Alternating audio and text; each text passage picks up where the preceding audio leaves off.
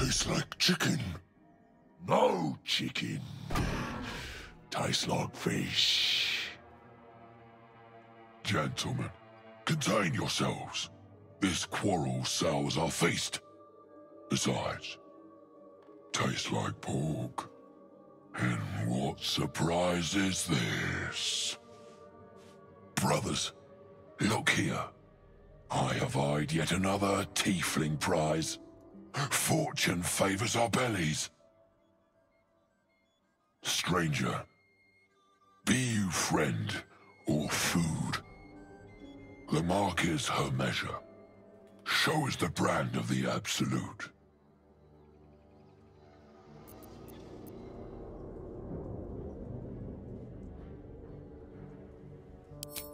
She scampered in from the east, calling for you, a pet no doubt.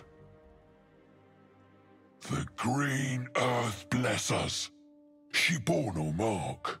Those horns. Such cartilaginous crunch.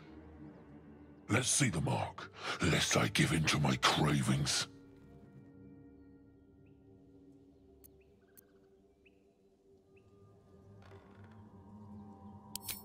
It's dinner time, boys!